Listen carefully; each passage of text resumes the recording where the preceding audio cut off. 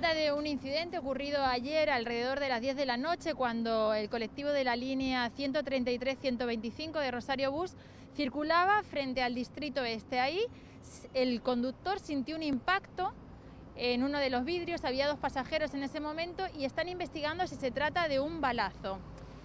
Se está por hacer la denuncia, todavía no se hizo, pero nosotros estamos con Ezequiel Escobar, del ente de la movilidad de Rosario, para que nos dé detalles de lo ocurrido y qué se puede saber hasta el momento.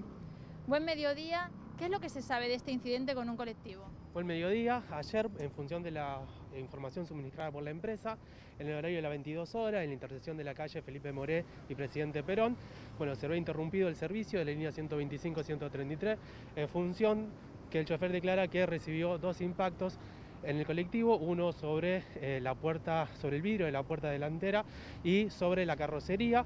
Eh, a partir de ese momento se informa a la empresa, se eh, suplanta la unidad, se siguió prestando el servicio con normalidad y se empiezan las investigaciones con respecto al caso para detectar qué es lo que pasó. ¿Se puede tratar de dos disparos? Mira, hasta ahora la característica de los impactos no hace deducir así a ciencia cierta desde el vamos de qué se trata, por lo tanto se está investigando para ver si, efectivamente se trata de disparos o si es cualquier otra cuestión.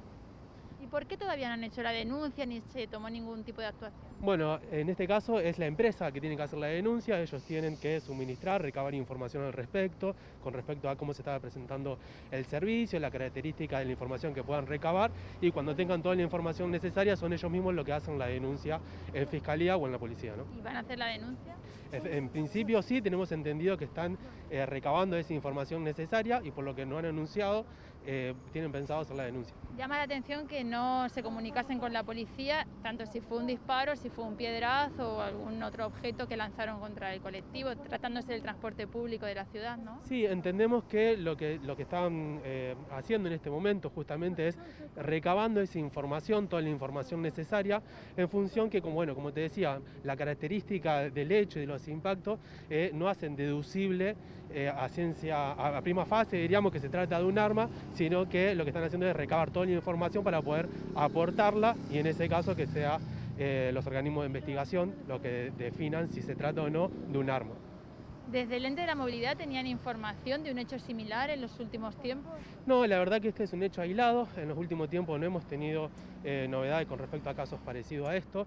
Con anterioridad ha habido algunos casos con respecto a piedras y demás, pero bueno, estamos eh, sorprendido, pero en realidad es un hecho que consideramos aislado y no cotidiano, diríamos. ¿Los dos pasajeros que estaban en ese momento en la unidad no podrían denunciar también, teniendo en cuenta que fueron víctimas de este ataque? Sí, en todo caso, eh, nosotros la información que suministramos también es la de los pasajeros, o sea, nosotros me refiero, en este caso, cuando haga la empresa la denuncia, va a suministrar también la información de los pasajeros que podrán ser citados a declarar eventualmente, pero sí, si los pasajeros consideran, se pueden acercar también. Muchas gracias. A ustedes, saludos. Hasta ahí la palabra de Ezequiel Escobar sobre este hecho ocurrido contra un colectivo de la línea 133-125. Todavía no se hizo la denuncia. Si miramos las fotografías que llegaron a, Canal 3, podemos hablar de que se trata de un disparo por la perfección del orificio, sobre todo en el vidrio. A simple vista se puede decir eso, pero bueno, hay una investigación que se tendrá que realizar para determinarlo. Bien, la verdad, el susto, ¿no? Porque uno ve un colectivo baleado, no sabes las causas, no sabes las razones, y vos decís, bueno, ¿qué es lo que pasa? O sea, cualquier cosa, cualquier objetivo. Claro, eso es lo llamativo. Había dos pasajeros en ese momento, también el chofer que continuó la marcha, no paró, seguramente por miedo, no paró frente al distrito este, que fue donde ocurrió todo, sino que llegó hasta el lugar donde guardan los colectivos y ahí fue cuando se dio aviso de lo ocurrido a la empresa.